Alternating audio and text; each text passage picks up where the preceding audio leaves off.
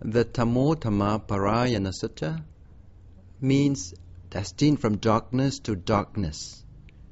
Some scholars translate the title as from darkness to light. The discourse comes from the Book of Four of the Anguttara Nikaya.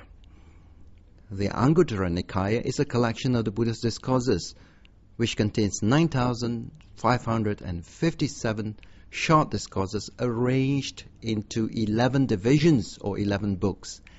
And each of these books will contain numbered items. For instance, all the items of number one belongs to book number one, all items number two, with two items belonging to book number two, and so on, and it comes to book of 11.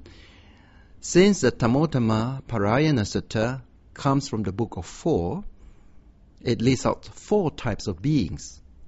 One, one who is in darkness, who is headed for darkness.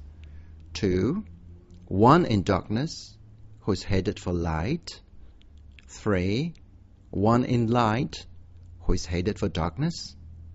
And four, one in light, who is headed for light. Although our background have some influence on our actions and lives, what is important is our motivation and effort to improve ourselves.